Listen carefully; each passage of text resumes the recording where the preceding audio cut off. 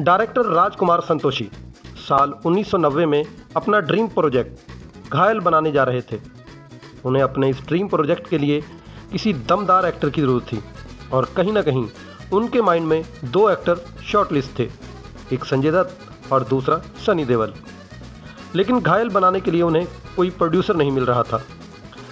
आखिरकार धर्मेंद्र, जो सनी देवल के फादर हैं, उन्होंने फ़िल्म को प्रोड्यूस करने के लिए हामी भर ली। और सनी देवल लीड रोल के लिए सेलेक्ट हो गए। फ़िल्म रिलीज़ हुई और उस साल की सबसे बड़ी हिट फ़िल्म साबित हुई। घायल को नेशनल अवार्ड से भी सम्मानित किया गया। घायल फ़िल्म के हिट होने के बाद राजकुमार संतोषी ने दो और फ़िल्मों पर काम शुरू कर दिया। एक थी दामनी और दूसरी अंदाज अपना अपना। दामनी फ़िल्म में ऋषि कपूर लीड रोल में थे और सनी देवल स्पोर्टिंग किरदार में दिखाई दिए। इस फ़िल्म के दमदार डायलॉग ढाई किलो का हाथ और तारीख पे तारीख लोगों को आज भी याद हैं। इन डायलॉग ने लोगों के दिल जीत लिए थे। इनफैक्ट दामनी बॉलीवुड की पहली ऐसी फ़िल्म थी, जिसमें स्पोर्टिंग एक्टर लीड रोल पे भारी पड़ा और इस फ़िल्म से सनी देवल को जनता से खूब प्यार मिला। इस फ़िल्म से सनी देवल ने बेस्ट स्पोर्टिंग एक्टर का नेशनल अवार्ड भी अपने नाम किया।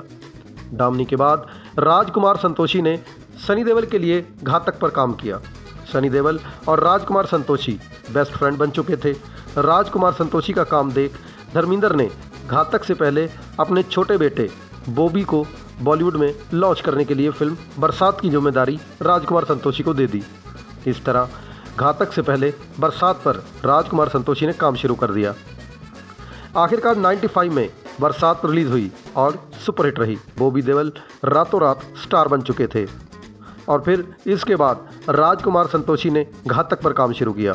लेकिन घातक मूवी को बनाने में बहुत टाइम लग रहा था। इनफैक्ट, इस फ़िल्म की शूटिंग 94 में शुरू हुई थी, मगर इसके बाद बरसात शुरू कर दी और बरसात के बाद फिर से घातक पर काम शुरू हुआ। दरअसल, राजकुमार संतोषी इस फ़िल्म के प्रोड्यूसर भी थे और फ़िल्म को बनाने में बहुत पैसा लग चुका था।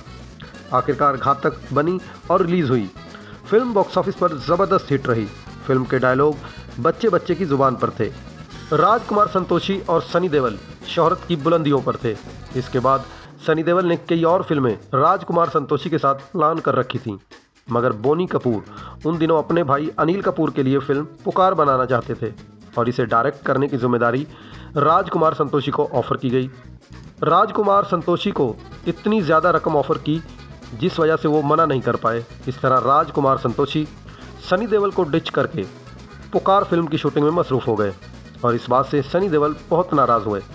बस इसी वजह से सनी देवल और राजकुमार संतोषी के दरमियान दूरियाँ आ गईं। पुकार फ़िल्म आगे जाकर फ्लॉप रही।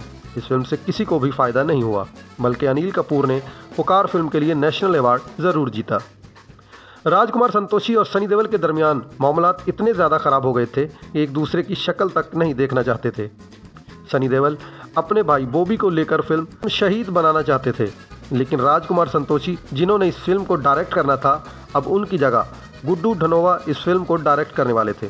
मगर उसी समय राजकुमार संतोषी भी इसी सब्जेक्ट पर the legend of Bhagat Singh के नाम से फ़िल्म बनाने में जुट गए। सनी देवल और राजकुमार संतोषी दोनों को एक दूसरे के प्रोजेक्ट के बारे में जानकारी थी। जहाँ शहीद में बॉबी देवल भगत सिंह का रोल निभा रहे थे, वहीं the legend of Bhagat Singh में अजय देवगन भगत सिंह का किरदार निभाने वाले थे। सात जून 2002 ये वो तारीख थी जब ये दोनों फ़िल्में एक साथ रिलीज़ हुई। मगर बॉक्स ऑफ़िस पर दोनों फ़िल्में फ्लॉप रहीं।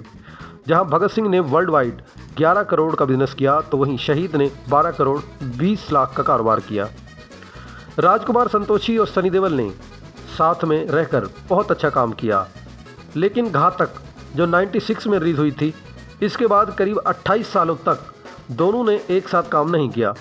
और अब 2023 में, जब सनी देवल ने गदर टू जैसी ब्लॉकबस्टर फ़िल्म दी तो उसकी सक्सेस पार्टी में, जहाँ सनी देवल ने अपने पुराने हरीफ शाहरुख खान और आमिर खान को इनवाइट किया, वहीं राजकुमार संतोषी को भी बुलाया गया।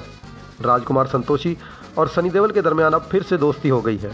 और अब हमें एक बार फिर, करीब उनतीस सालों बाद 2025 में फ़िल्म लाहौर 1947 में ये जोड़ी नज़र आने वाली है। फ़िल्म को जहाँ राजकुमार संतोषी डायरेक्ट करेंगे, वहीं बॉलीवुड एक्टर आमिर खान फ़िल्म को प्रोड्यूस करने वाले हैं। खैर, आप बताएँ कि आप राजकुमार संतोषी और सनी देवल की जोड़ी को लाहौर उन्नीस में देखने के लिए कितने एक्साइटेड हैं?